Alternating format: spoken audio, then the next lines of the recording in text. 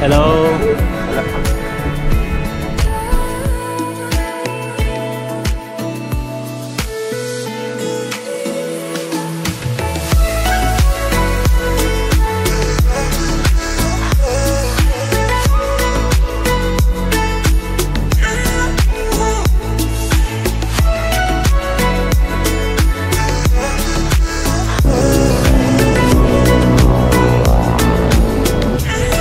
Tak vás po osmi dnech nic nedělání, odpočívání, válení se na pokoji a občasného pracování. Zdravíme z Bali.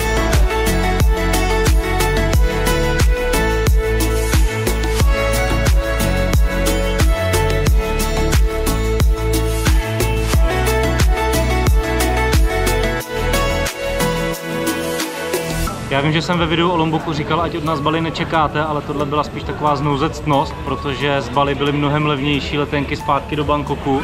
Takže jsme přejeli lodí semka na Bali. Teď jsme v městečku Ubud, kde se můžete podívat na krásné rejžové terasy, kde se dělají instagramové fotky úplně luxusní. Zítra ráno přijíždíme do Denpasaru a pozítří brzo ráno, na nás teda brzo ráno, přelítáme zpátky do Tajska. Původně to tady mohlo být hezký, takový přírodní políčko rejžový, ale teď jsou to samý kavárny, bazény, houpačky,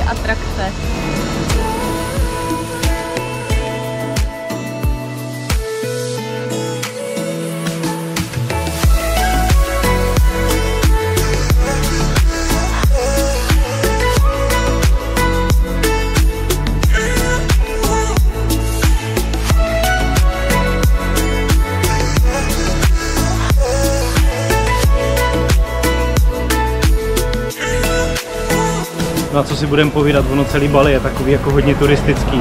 Kdy jenom za tu cestu na ty rejžové terasy a zpátky jsme viděli víc turistů snad než místních. No a to je jeden z rozdílů oproti tomu Lomboku, kdy tam vlastně turisti nejsou skoro žádný. Příroda, aspoň co jsme viděli z těch taxíků, když jsme jeli na letiště nebo z přístavu, tak tady vypadá úplně stejně jak na tom Lomboku, jenom tam prostě nejsou ty turisti. A vlastně další rozdíly v náboženství, kdy na Lomboku je vlastně islám a tady je co je tady za náboženství? A tady je hinduismus. Jasně, není to žádný překvapení, na Bali jezdí turisti a na Lombok ne, ale spíš jde o to, co jsem říkal předtím, že ten Lombok je jak Bali před 20 rokama a opravdu, když to tady vidíte, kohouti jsou nějaký zmatený. A opravdu, když to tady na tom Bali vidíte, tak fakt si myslím, že to tak mohlo tady vypadat. Takže pokud chcete Bali před 20 rokama, jeďte na Lombok, pokud chcete Bali, jeďte na Bali.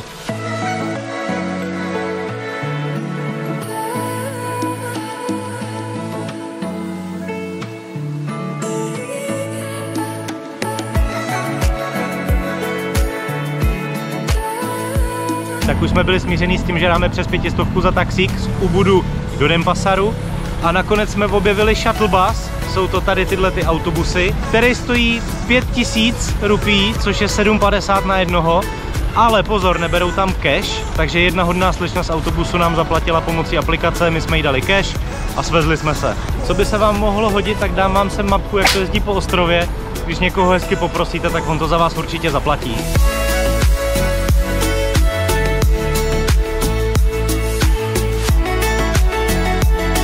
Tak jak všude na světě, když vám někam začnou jezdit haldy turistů, tak se vám z toho začne vytrácet taková ta autenticita, ten duch toho místa.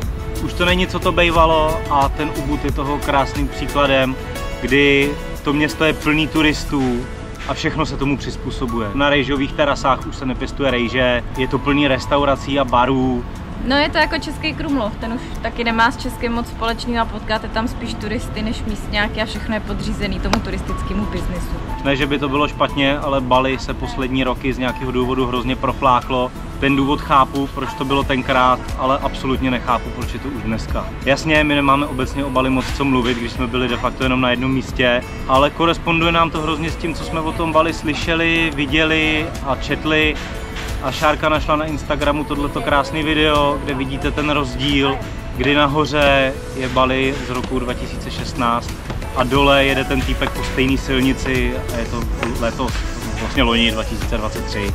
No a i to je důvod, proč jsme se tady otočili jenom na mezipřistání a zítra hned ráno odvídáme. No a den pasar jsme si vlastně dali okružní jízdu MHDčkem, takže ten už máme prohlídlej taky.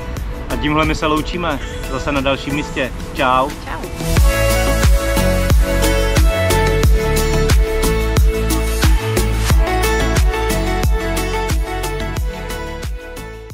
test třepání se za chůze.